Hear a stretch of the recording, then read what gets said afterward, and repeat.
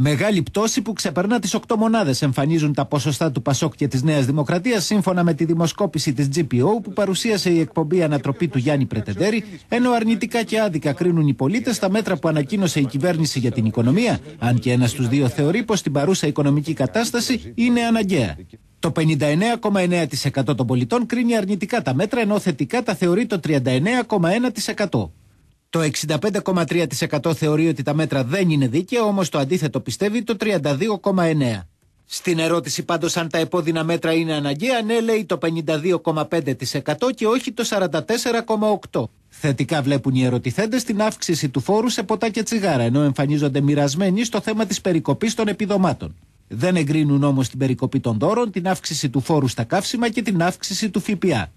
Μεγάλη πτώση στα ποσοστά τους εμφανίζουν τα δύο μεγάλα κόμματα. Στην πρόθεση ψήφου το Πασόκ προηγείται με 31,8%, η Νέα Δημοκρατία ακολουθεί με 21,1%, το Κομμουνιστικό Κόμμα συγκεντρώνει 8,7%, ο Λαός 6,8% και ο ΣΥΡΙΖΑ 4,1%. Είναι και φυσιολογικό διότι όσο απομακρύνεται ο χρόνος των εκλογών, ε, είναι λογικό ένας αριθμός πολιτών να εγκαθίστανται στον μη πολιτικό χώρο. Αυτό που αντίθετα είναι πιστεύω σημαντικό ως παράδοξο πρωτότυπο είναι το γεγονός ότι αυτοί οι πολίτες που φεύγουν δεν πάνε καθόλου στο κόμμα της αξιωματικής αντιπολίτευσης.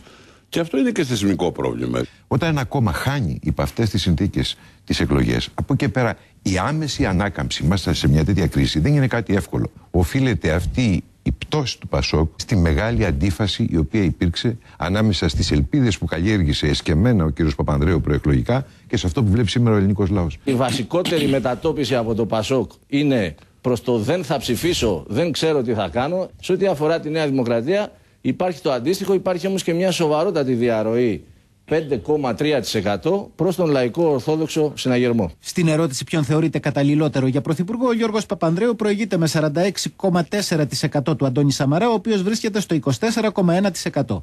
Στην αξιολόγηση του έργου των υπουργών της κυβέρνησης προηγείται ο Ευάγγελος Βενιζέλος, ενώ την πρώτη πεντάδα συμπληρώνουν ο Μιχάλης Χρυσοχοίδης, ο Ανδρέας Λοβέρδος, η Τίνα Μπυρμπίλη και η Άννα Διαμαντοπούλου.